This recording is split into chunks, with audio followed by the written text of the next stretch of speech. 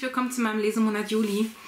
Ähm, der war ziemlich umfangreich. Da war ich selber erstaunt, als ich dann alles ins Book Journal eingetragen habe. Ich mache das nicht immer direkt, meistens sammelt sich das an und ich mache das dann, ja, wenn ich mal Zeit übrig habe und dann alles auf einmal. Und ähm, tatsächlich war es ziemlich viel. Und ich fange an mit den Sachen, die ich ähm, bezüglich der Universität gelesen habe. Und zwar war das äh, Thema Lessing. Lessings Nathan der Weise. Da schreibe ich gerade eine Hausarbeit ähm, zu und ähm, stelle euch mal die Bücher vor, die ich dazu gelesen habe. Ähm, ich zähle sie halt, weil ich sie wirklich, also nur die, die ich durchgearbeitet habe für die Hausarbeit, die, die ich nur so überflogen habe, nicht. Ähm, und ich zeige sie euch, weil ich einfach glaube, dass es interessant sein kann für Leute, die auch äh, vielleicht äh, Deutsch studieren oder irgendwas in der Richtung oder im Abitur den Text durchnehmen oder so, dass sie einfach wissen, welche Literatur ähm, eventuell ganz lohnenswert sein könnte, ähm, als Sekundärliteratur zum Beispiel. Fangen wir an, einmal mit äh, Nathanael Weise als Reklamheft. Das war meine Textgrundlage oder ist meine Textgrundlage. Ähm, muss ich zu dem Stück noch was sagen? Habe ich zu dem Stück schon was gesagt? Moment. Nein, muss ich nicht, weil Nathan der Weise habe ich schon im Vormonat gelesen. Ich habe es jetzt nur auf dem Stapel gehabt, weil ich die Sekundärliteratur dazu, die Sekundärliteratur dazu hatte. So. Also wem das wichtig ist, der zählt nicht in den Juli, der gehört in den Juno. Aber äh, die Erziehung des Menschengeschlechts habe ich dann auch noch gelesen. Das hier ist ein, äh, ein Band, in dem auch noch Ernst und Falk von ihm drin ist. Aber Nathan hat, äh, Nathan, mhm. Lessing hat tatsächlich ähm, sich sehr viel Gedanken über Erziehung gemacht und ähm, hat dann in Form von Paragraphen seine Vorstellung von Erziehung ähm, aufgeschrieben. Und zwar sind das, ich muss mal gerade gucken, aus dem Kopf weiß ich es nicht, Äh, genau 100, hätte ich mir eigentlich merken können. Es sind genau 100 Paragraphen über Erziehung und ähm, die sind sehr, sehr aktuell, finde ich. Also nicht alle, auf keinen Fall, ähm, aber doch einige. Also zum Beispiel sagt er, Erziehung ist etwas, das nur ähm, wie eine Offenbarung ist von den Sachen, die vernunftgemäß sowieso schon in uns veranlagt sind. Und dieses Denken vom kompetenten Menschen oder vom kompetenten Säugling heißt es heute, der ähm, quasi ganz viele Ressourcen mitbringt, die man einfach nur mit ihm zusammen befördern muss, braucht. Äh, das ist ein sehr aktuelles Bild und das fand ich spannend. Ähm, lohnt sich auf jeden Fall für alle, die da irgendwie sich mit auseinandersetzen, ähm, das mal gelesen zu haben. Also ich finde das super. Also der Erziehungsgedanke von Lessing hat mich positiv überrascht.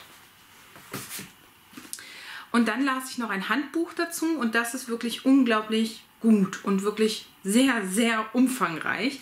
Und das ist von Monika Fick und ähm, heißt Lessing Handbuch Leben, Werk und Wirkung aus einem meiner Lieblingsverlage, dem Metzler Verlag. Das ist jetzt die Bibliotheksausgabe, ich besitze, besitze das Buch nicht selbst. Mm. Und was halt ähm, so ein bisschen schwierig ist an dem Buch, deswegen habe ich es, glaube ich, auf Goodreads auch mit vier Sternen bewertet, sonst hätte ich es fünf bekommen, ist das Schriftbild. Und jede Seite sieht so aus. Oh, mal gerade einen Titel. Ähm, das ist beim Lesen sehr erschöpfend. Man wünscht sich schon fast eine Abbildung, um aus diesem, diesem spaltenweisen Bibellesen irgendwie rauszukommen, aber tatsächlich ist es nicht so. Es bleibt bis zum Schluss. Was ich ihr zugute halten muss, ist, dass sie es aber so unterhaltend und so spannend und informativ gestaltet hat, dass es wirklich be zu bewältigen ist. Es geht wirklich. Und man kann unwahrscheinlich viel rausziehen. Also ich schreibe jetzt nicht über die Ringparabel, sondern über andere Aspekte aus Lessing und auch die finden sich hier drin äh, aus Nathan der Weise. Und genauso natürlich auch die klassischen Sachen wie Ringparabel und so weiter. Also wenn ihr da irgendwie in der Richtung was schreiben müsst, kann ich euch dieses Buch absolut empfehlen. Dann beendete ich von Nietzsche die Gedichte in der Reklamausgabe. Viele wissen gar nicht, dass er Gedichte geschrieben hat. Er hat sehr, sehr viele Gedichte geschrieben. Es gibt sogar noch einige, die noch gar nicht editiert sind. Die liegen noch im Nietzsche-Archiv in Weimar. Ähm, und dieses hier ist einfach eine Sammlung, weil seine Gedichte sind in verschiedenen Werken von ihm untergebracht und hier sind sie ähm, gesammelt. Ihr seht, es hat mir gut gefallen. Ich habe mir viele Anmerkungen gemacht. Ich muss aber dazu sagen, ich habe mit Sicherheit nicht alle verstanden. Ähm, ich finde, er schrieb sehr, sehr schwierig, sehr komplex, aber auch sehr, sehr schön. Also wirklich schön. Da sind Sachen bei, oh, die musste ich gleich mehrmals lesen, weil ich sie so gut fand. Ich schaue mal, ob ich ein Beispiel für euch finde.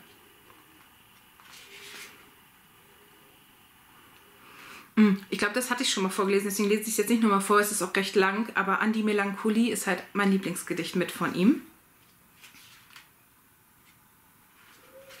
Dann ähm, hier einfach eine Stelle aus dem Gedicht Der Herbst. Das Ganze lese ich jetzt nicht vor, weil es zu lang ist, aber eine Stelle daraus. Sie sollen jetzt noch Blumen sehen, nach mir sich bücken, ach, und mich brechen. In ihrem Auge glänzet dann Erinnerung auf, Erinnerung an Schöneres als ich. Ich sehe es, ich sehe es und sterbe so. Einfach unglaublich schwermütig, aber auch wirklich schön. Ähm, aus Hohen Bergen fand ich auch wirklich toll. Ähm,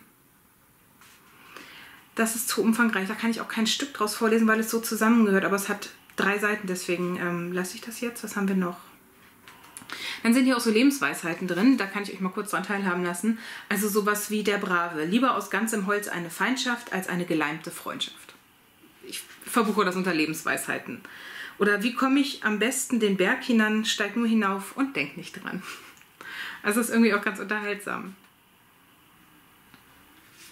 Das hier fand ich auch schön. Meine Härte. Ich muss weg über 100 Stufen. Ich muss empor und hör euch rufen. Hart bist du. Sind wir denn von Stein? Ich muss weg über 100 Stufen und niemand möchte Stufe sein. Da kann man zum Beispiel länger drüber nachdenken. Ähm, viel über Freundschaft, viel Kritik, viel Sprachkritik, Gesellschaftskritik, ähm, Kritik an Strömungen, also wirklich, wirklich dicht, kann man viel rausziehen. Das finde ich auch schön, ist recht kurz, ich lese es mal vor. Nach neuen Meeren heißt es. Dorthin will ich, und ich traue mir fortan und meinem Griff. Offen liegt das Meer, ins Blaue treibt mein Genueser Schiff. Alles glänzt mir neu und neuer, Mittag schläft auf Raum und Zeit. Nur dein Auge, ungeheuer, blickt mich's an, Unendlichkeit. Also es geht ganz viel darum, wie man Leid und äh, Not erträgt und ähm, was für ihn Stärke und auch Einsamkeit bedeutet und wie das so zusammengeht. Ähm, ich lese euch noch mal einen Auszug vor aus dem Gedicht. Das ist mich sehr, sehr lang, aber wirklich schön. Zwischen Raubvögeln heißt das manchmal ist es schwer zu unterscheiden, weil dann so einzelne Wörter doch drüber stehen und dann muss ich mir überlegen, ist das jetzt ein neuer Titel oder gehört es zum Gedicht? Das ist nicht immer ganz leicht. Also ich hoffe, es ist jetzt aus dem Gedicht Unter Raubvögeln und nicht aus dem Gedicht Einsam. Nein, ich glaube, es gehört zu dem Gedicht. Mhm. Du suchtest die schwerste Last, da fandest du dich. Du wirfst dich nicht ab von dir. Lauernd, kauernd, einer, der schon nicht mehr aufrecht steht. Du verwechst mir noch mit deinem Grabe, verwachsener Geist und jüngst noch so stolz auf allen Stelzen deines Stolzes, jüngst noch der Einsiedler ohne Gott, der Zweisiedler mit dem Teufel, der scharlachne Prinz des Übermuts, jetzt zwischen zwei Nichts eingekrümmt, ein Fragezeichen, ein müdes Rätsel, ein Rätsel für Raubvögel. Sie werden dich schon lösen. Sie hungern schon nach deiner Lösung. Sie flattern schon um dich, ihr Rätsel, um dich, Gehängter. Also ihr merkt, es sind auch viele Sprachspiele drin. Also wirklich, wenn man es, es lohnt sich, sie laut zu lesen. Teilweise merkt man richtig, wie die Zunge im Mundraum hin und her springt. Also allein dieses zwischen zwei Nichts eingekrümmt ähm, ist toll zu sprechen. So. Also mir haben die wirklich sehr, sehr gut gefallen. Und bevor ich jetzt noch mehr schwärme und noch äh, endlos daraus vorlese, schafft es euch lieber selbst ein. Es ist keine große Investition. Also hier hat es gekostet 6 D-Mark, also werdet ihr es jetzt wahrscheinlich für 2, 3 Euro bekommen ähm, oder gebraucht noch günstiger ich finde, es ist einfach was unwahrscheinlich Schönes. Und es lohnt sich auch zum Beispiel immer ranzuziehen, das mache ich ganz gerne, wenn ich jemandem eine Geburtstagskarte oder sowas schreibe, dann ähm, setze ich gerne ein, ein nettes Sprüchlein oder ein Zitat darunter. Und dafür sind solche kleinen Gedichtsammlungen zum Beispiel sehr schön. Ich beendete ein Buch, ähm, das einen ganz besonderen Eindruck auf mich hinterließ. Und ich beendete es nicht allein, sondern ich las es in einer Leserunde mit ähm, einer Zuschauerin ähm, und Freundin zusammen und mit Sarah vom Bookmarkt. Und wir lasen zusammen Flucht von Hakan Günday. Ich habe lange überlegt, wie ich über dieses Buch sprechen soll, weil es wirklich heftig war. Ähm, ich habe auch wenig andere Worte. Also ich habe ganz oft mir daneben geschrieben, stark oder uff, weil es wirklich krass ist. Also ich versuche mal die Handlung zu umreißen.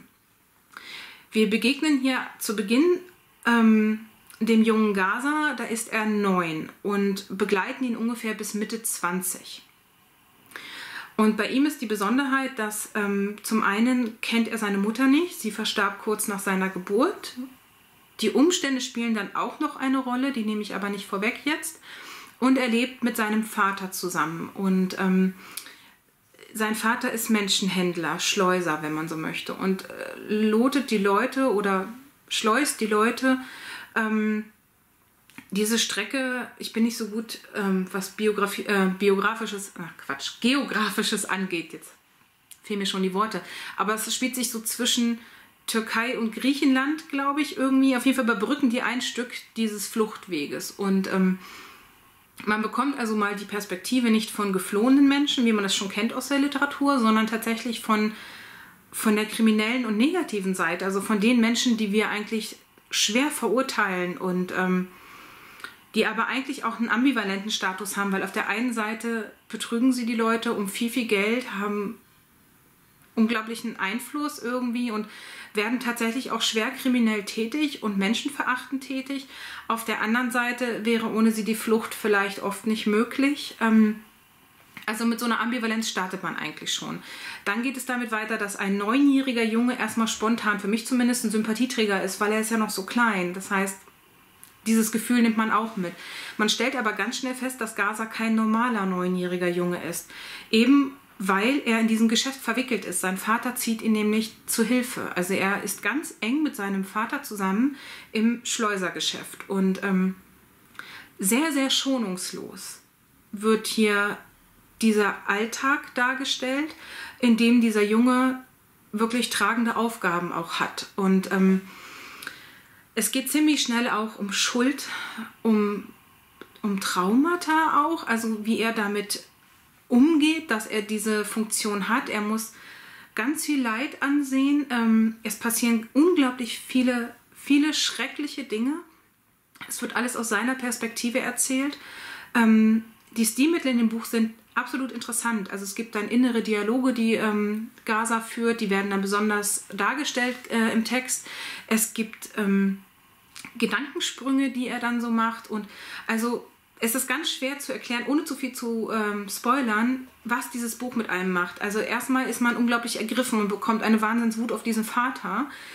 Dann wandelt sich aber das. Also man kann nicht bis zum Schluss sagen, wer gut und wer böse ist. Und das ist auch gewollt. Dieses Buch ist psychologisch unwahrscheinlich raffiniert gemacht. Es macht ganz viel mit den Lesenden. Also ich habe wirklich, es gab ein, zwei Stellen, da musste ich das Buch weglegen und wirklich was Lustiges gucken, was Leichtes lesen, weil ich hätte sonst nicht schlafen können. Es war so grausam, so schrecklich, so nah. Man war so dabei und ähm, das eskaliert einfach alles. Also dieses Schleusergeschäft bleibt nicht einfach nur dieses Schleusergeschäft, sondern es eskaliert. Es steht auch hinten schon auf dem Klappentext, der Vater von Gaza stirbt ähm, und Gaza rutscht dann in eine ganz neue Position und entdeckt ganz viele schwerwiegende Geheimnisse und ähm, Fakten auch auf. Und er hat einen ganz, ganz krassen Weg, den er dann geht, als sein Vater plötzlich weg ist. Und dabei begleiten wir ihn im Grunde. Und man kommt wirklich in alle Rollen. Man kommt in die Opferrolle, in die Täterrolle, in die passive ich, Ohnmachtsrolle. Ich kann nichts tun, ich bin nur Beobachter. Also das hat man auch. Es ist auf jeden Fall unwahrscheinlich heftig. Es ist nah, dicht und heftig. Und was ich besonders erschütternd finde, ist, es ist zwar fiktiv, aber ich kann mir wirklich vorstellen, dass vieles von dem, was da drin steht, ganz genau so läuft. Was ich dem Autor absolut zugute halte, ist nicht nur sein, ähm, sein absolutes Talent dafür, psychologische Vorgänge und Prozesse unwahrscheinlich gut darzustellen. Also wirklich absolut authentisch. Ich kann mir genau vorstellen, dass es wirklich, also ich kann mir vorstellen, dass es genau so läuft, wenn man schon mit neun Jahren solche schrecklichen Dinge gelebt hat, äh, gesehen hat, dass man sich so entwickelt, wie Gaza sich entwickelt hat. Dann halte ich dem Autor zugute, dass er unwahrscheinlich mutig ist, denn er kritisiert hier die äh, türkische Politik, die Institutionen, den, ähm, das Staatswesen und den Umgang mit Menschen innerhalb dieses Staates. Und er kritisiert ganz wichtige Teile dieser Politik und das wirklich ungeschönt. Und ähm, das finde ich mutig, das finde ich ganz, ganz toll und da müsste es viel mehr Menschen von geben. Dann schafft er es unwahrscheinlich toll, Charaktere zu zeichnen.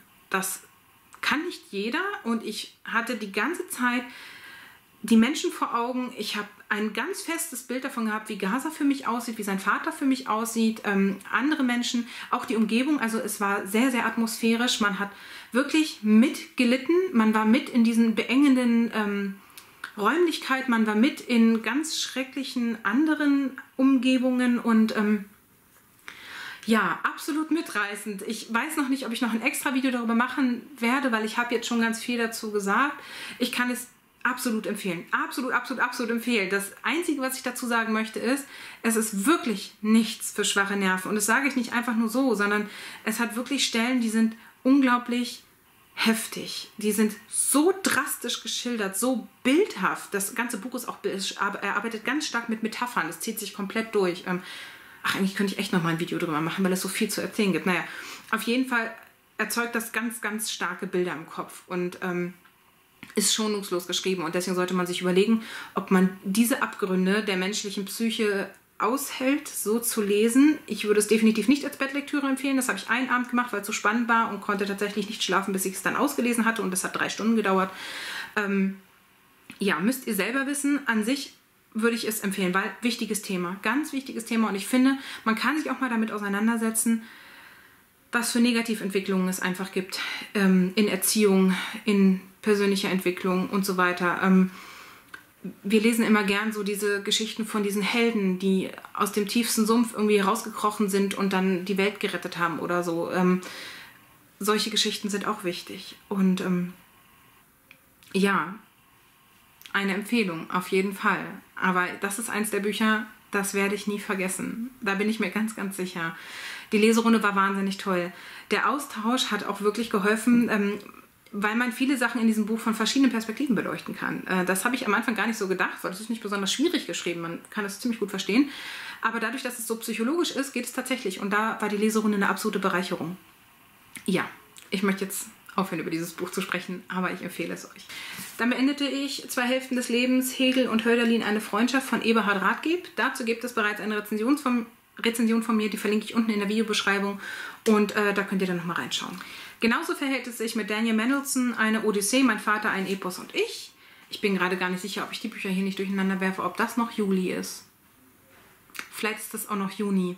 Manchmal schaffe ich es nicht, Bücher wegzuräumen, bevor ich den nächsten Lesemonat drehe. Kann ich euch jetzt an dieser Stelle gestehen. Und wenn ihr euch wundert, dass ihr ein Buch dann zweimal seht, dann habe ich es einfach verschwitzt. Ich habe äh, selten die Muße, mich vorm Videodreh hinzusetzen und mein Bookjournal nochmal zu wälzen. Meistens stelle ich mich einfach vors Regal und fange an zu quatschen das ist dann der Nachteil. Es kann sein, dass ich es schon gezeigt habe. Auf jeden Fall verlinke ich euch nochmal die Rezension zu dem Buch in der Videobeschreibung. Ganz sicher bin ich mir aber, dass ich dieses Buch diesen Monat erst beendete, weil es noch kein Rezensionsvideo gibt. Es wird kommen. Ähm, und deswegen sage ich jetzt auch nicht so viel dafür, äh, darüber, damit ihr einfach noch Lust habt, euch die Rezension anzuschauen. Ähm, es ist mir vom Verlag zur Verfügung gestellt worden und zwar ähm, vom Splitter Verlag. Von dem habe ich schon vorgestellt äh, Die Fahrt der Odysseus, die Fahrten der Odysseus. Das war eine Graphic Novel und dieses hier ist auch eine Graphic Novel. Und zwar Victor Hugo im Exil. Ich muss ein bisschen zurückgehen, das ist sehr groß. Ähm, ich finde dieses Cover wahnsinnig schön und es erinnert mich ganz stark an Caspar David Friedrich. Ich habe den Titel des Bildes vergessen, aber wenn man diesen Schriftzug hier oben wegnimmt, dann ist das eigentlich das Bild von Caspar David Friedrich. Mhm. Genau, hinten drauf so. Ich kann euch mal die Zeichnung zeigen und ein bisschen was dazu sagen.